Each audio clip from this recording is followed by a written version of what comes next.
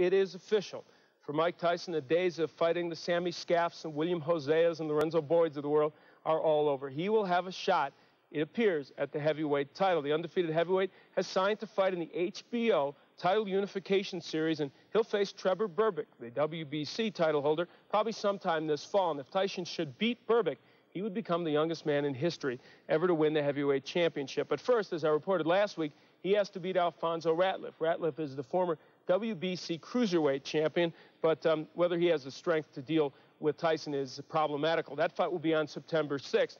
Now, Tyson had to pay a little bit of a price to get into this series. The series is promoted by Don King and Butch Lewis, and they now have options on the next five fights that uh, Tyson will fight, three in the HBO series and then two after that. So um, he will have to fight for those men in the near future.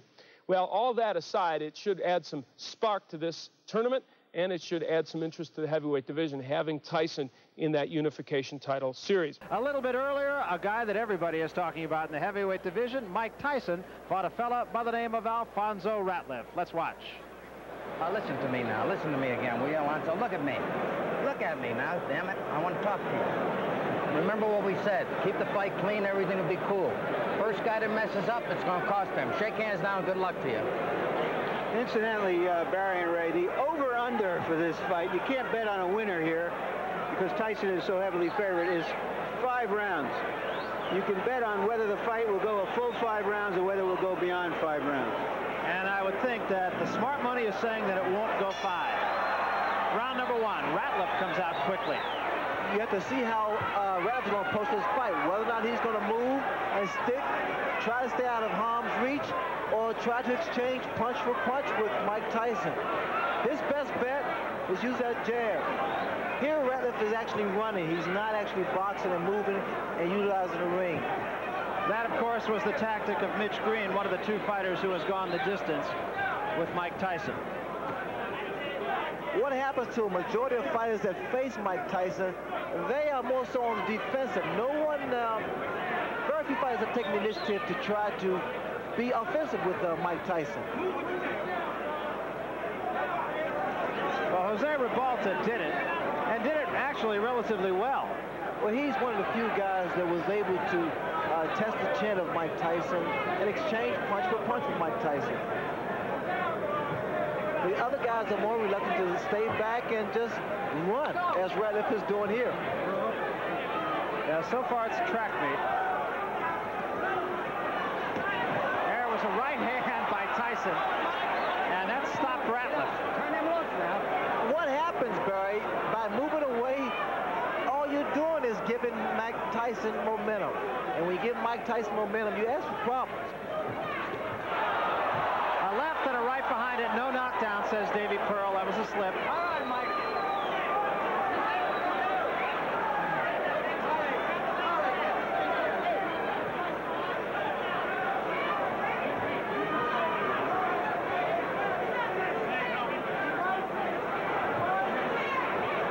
And Ratliff continues on the bike. Hold it up, hold it up, hold it up. Ratliff's fighting this first round, Ray, like a startled fawn. It's like he's just trying to survive, Barry. He's not boxing at.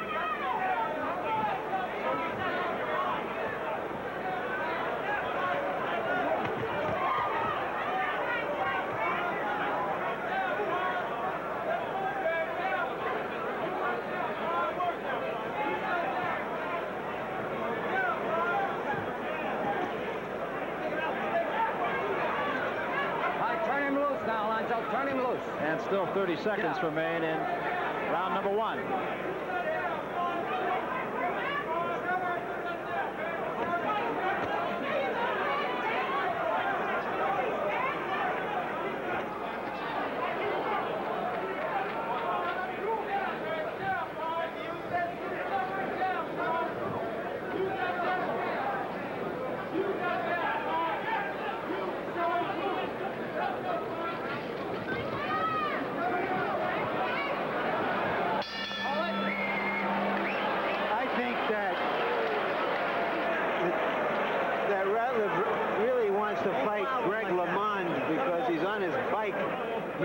You gotta work the body. in the Tour work de body. France. The jab start out good. You gotta keep on your head jab. But you cut that ring down. You understand? You gotta understand, but don't let him get brave. You understand? Just a little bit. So. Don't don't throw one punch at a time.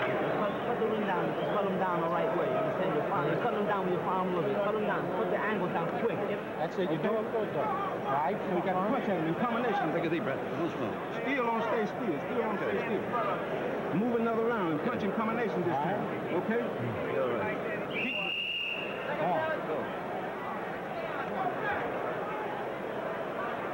Stay in there, Mike. Back up. I'm wondering whether he's going to be on a 10 speed or a 12 speed in this round. On his trunks, it says Spartan, and I think that was an apt description of his performance in the first round. Ratliff has been moving a great deal and not doing too much. What he has to do is stop every so often and fire. Fire back. Throw some punches. Well, he threw a right hand there, but I'll tell you, he got out of there right after he threw it. Well, what happens, Ratliff is anticipating a counterpunch from Mike Tyson. That was a right hand by Tyson. What Ratliff can do, because he's so tall and rangy, he can try to catch Mike Tyson reaching in. Like so. That was a good opportunity there.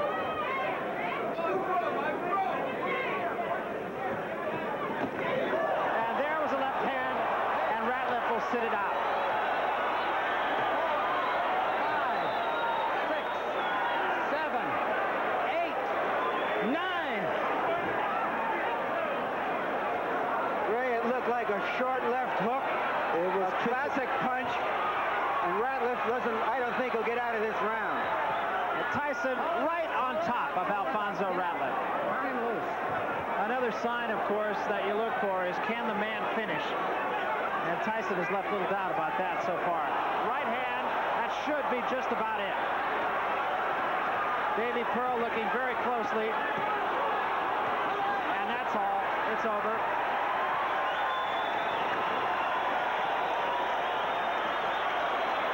The bicycle had a flat tire. And the rider by a left off. hook.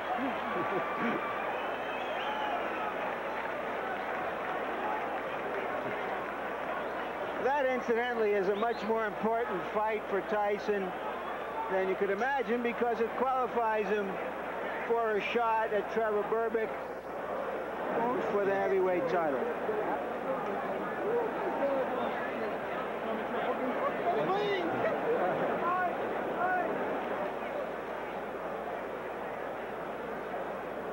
Very impressive.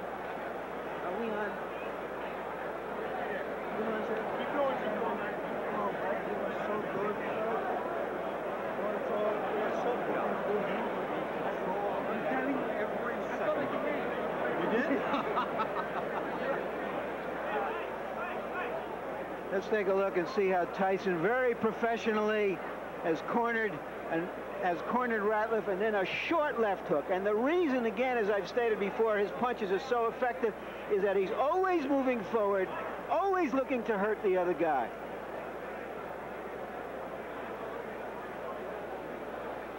Now as he moves in to end the fight, Ratliff is hurt. That right hand hurts him some more. It's just a question of letting him fall and get away from the ropes. Left to the body, left to the head, right to the head. Good night. There it is from another angle. A nice fight for Mike Tyson in the sense that he had a big guy trying to run. A lot of guys are going to try to run from him. But as they said about Joe Louis, you can run, but you can't hide. Well, Alfonzo Ratliff won the press conference the other day, and he won the music contest before this fight, won the dance contest, and he won the stare down. Only one problem. Here's the official decision now from Chuck Hall. Ladies and gentlemen, referee Davey Pearl stops the bout at one minute, 41 seconds of the second round the winner by a TKO and still undefeated, Mike Tyson.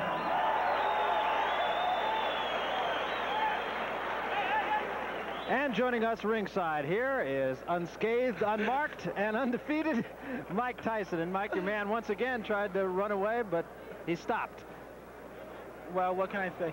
First of all, you know, I really I like to dedicate this fight to a dear friend of mine that passed away recently, um, Stuart Hilton in Montreal, and this fight is dedicated to him.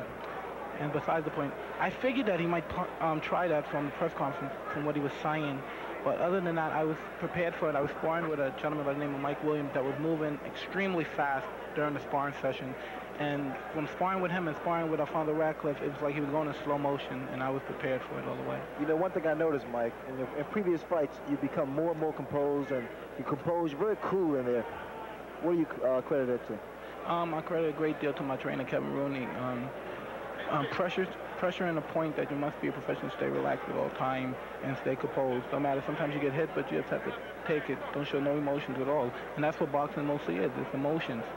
Is it frustrating, Mike, when a guy does run? Mitch Green ran on you a little bit, Ratliff does, and it's likely now you're going to see that a little bit more. Well, it doesn't work at all because I they can't win the fight by running, and I put a lot of pressure on them. And the more they run, I just continue to throw punches. And I'm very elusive, and they're not hitting me, so I'm ahead either way. What happens now? You're looking to a uh, Trevor Berbick fight, I know, but now there's some conversation that Berbick is supposedly signed with Jerry Cooney. What happens now for you? Well, I'm, I have nothing to say because um, my managers, I'm sure, I have a great deal of trust in them and they're going to do the right negotiations. And if it's a point of me fighting for the title, I'm sure I'm going to fight for the title, no matter who it is. But like I say, I'm, I'm number one in the WBC, number one in the WBA, so it really doesn't matter. I'm going to fight for the title either way. Are you confident right now you could beat anybody around? Most definitely, yeah. Good win for you tonight. They're all good wins, Mike. Very impressive. Thank you very much, Barry. Mike Tyson. And right now with another one of the principals in the issue at hand, that is the Berbick, Cooney, Tyson trilogy. Here's Larry Merchant. Larry? All right, Don King, um, Trevor Berbick is threatening to bolt from the tournament. Your view about that? Well, first of all, just let me say, only in America, I'm excited about HBO having a fantastic show tonight, another sellout for HBO. In regards to Berbick, I think that Berbick is going to fight Tyson in November, and uh, I think we have a rival promoter who has stooped to an all-time low now, trying to induce breach and tampering and tortious interfering with the contract uh, Trevor Berbick have with us. So I really think that the threat is that Bob Arum is trying to make him all right, uh, bribe him Don, you're saying that you have a contract with Trevor Berbick to fight Mike Tyson, but that somebody else is offering him, as we understand it, more money to fight Cooney. Can he get out of that contract? No, he cannot. He has the contract and it has been registered with the WBC, the World Boxing Council, and the chairman, Jose Sulaiman. And uh, he has he has got advances in excess of $100,000 on that fight, one $25,000 check in precisely for Mike Tyson, so he knew that he was fighting Mike Tyson. But Trevor's not a bad guy. Trevor is just a guy that listens to a lot of people talking to him, and they're trying to induce him to breach. All right, if he goes, what will happen? Will the WBC take his title from him? Who would Tyson then fight, and so on? Well, first of all, I don't think that Trevor is going to leave. I think that Trevor is going to honor his commitment as he's always done. I think it's a, a very uh, sad time when a promoter don't, doesn't make fights. Now all he does is torpedo fights, and that's what Arum spends all his time doing now. However, if he should decide to bolt uh, then the WBC would have no choice but to, remove recognition from him and go into the next situation. I don't know what that situation will be at this particular time. I'm looking forward to Trevor honoring his contract. If the title is vacated by the WBC, would Pinklon Thomas, who is the top-ranked heavyweight in the WBC, then be free to fight uh, uh, Tyson for the title? Pinklon Thomas is the number one contender in the WBC. After the time when that rule comes we have to deal with that when it comes with it, but Tyson is ready to go. He's in the series. I think he'd have to fight according to how the series would go because we are going toward one heavyweight championship on HBO and the World Heavyweight Series, and we're working very hard toward that end. Thank you very much, Don King. And I should add here that Trevor Berbick, who is in Las Vegas, was asked to appear here to give his side of the story earlier I tonight I said that sometimes uh, boxing is crazy and weird and nutsy, and this situation could be that. if indeed Trevor Berbick tries to bolt from the tournament, then what we have is a court case and maybe a delay in the tournament and who knows what. I'm not an expert in jurisprudence. Okay, thanks very much, Larry Merchant. And let us point out another championship that changed hands tonight. This one did change hands, and that was the IBF Light Heavyweight title. It was held by Slobodan Kacar. Bobby Czyz today won it in a fifth round TKO. That fight held a little bit earlier, pardon me. Ray, we talk about the politics. There's been a lot of talk about the politics, and we talk about what's happening in the sport now with Trevor Berbick, and Bob Arum comes along and throws a lot of money on the table and says, make this fight, but he's under contract.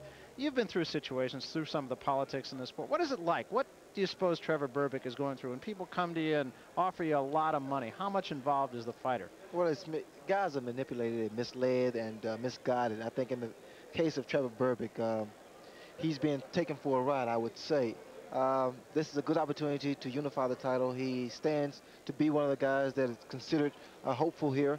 But uh, it's just unfortunate, and hopefully we can resolve this. Speaking of making news and speaking of politics, my man Sugar Ray Leonard here on the cover of Sports Illustrated, a fine piece by Bill Nack. But it is news, and so I have to ask, what is this? What does all this mean? Now we're talk, we're hearing out of Boston that Marvin Hagler has made a deal with Bob Arum, that there's a contract signed, that they've agreed. Now, what does it all mean so far as Sugar Ray Leonard is concerned, and what's the status of a fight? Well, the unfortunate thing, I have not heard anything from marvelous Marvin Hagler himself. Uh, I'm waiting to hear from him. I, once I hear from him, Barry, then we can go on from that point.